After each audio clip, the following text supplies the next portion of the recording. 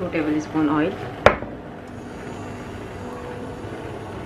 एक छोटी साइज़ की प्याज जिसे मैंने चॉप कर लिया है। Spring onion one cup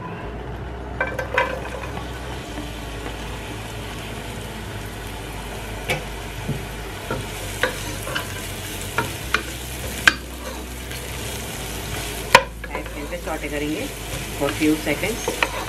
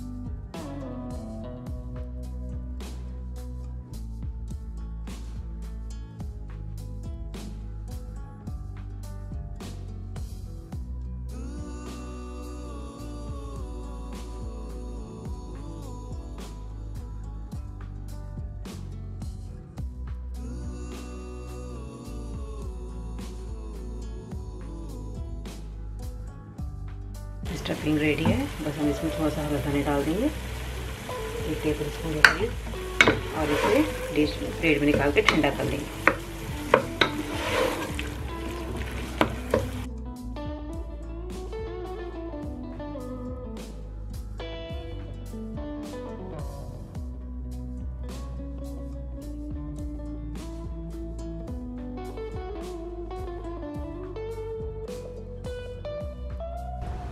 stuffings ठंडी हो चुकी है। फ्रोजन पराठा निकाल लीजिए। ये गर्म कर लीजिए।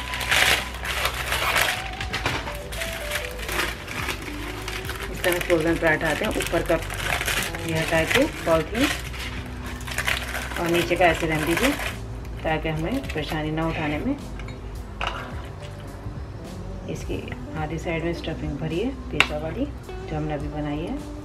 पूरी ठंडी हो करके फिर भरिएगा।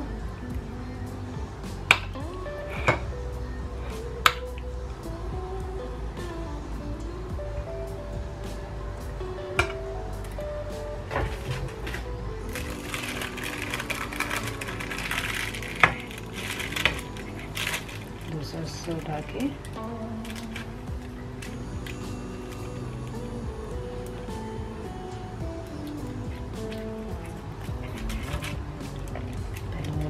वीडियो की मदद से आप दबा दीजिए, फिर इसमें स्प्रिंग दे दीजिएगा सील कर दीजिएगा फोक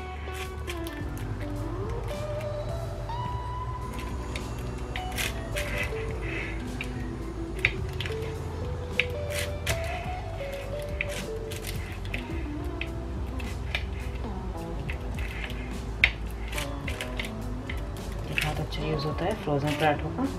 कभी कभार समझ में नहीं आता कि पराठे बच्चे में, लेकिन हम करें क्या? तो आप ये कर सकते हैं। इस तरह यूज़ में ला सकते हैं आप, बचे हुए फ्रोज़न पराठे।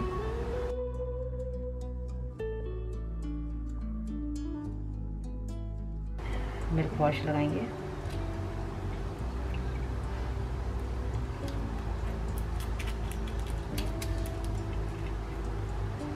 ठीक है।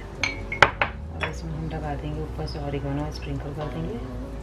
आप चाहें तो सफ़ेद तेल या काले तिल जो भी आपके पास मौजूद हो, वो भी छिड़क सकते हैं। और इसे भी हम बेकिंग ट्रे में रख देंगे।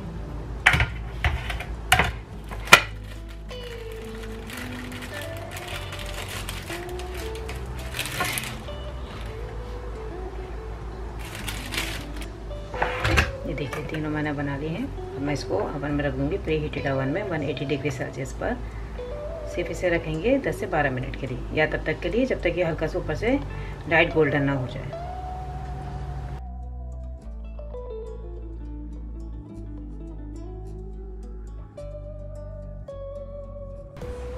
देखिए, बिल्कुल रेडी है। फ्रोज़न पराठा पॉप बनाया है पिज़्ज़ा से पिज़्ज़ा स्टफिंग करके, बिल्कुल रेडी है। अभी थोड़ा सा कूल डाउन हो जाए, फिर हम इसकी प्लेटिंग करेंगे।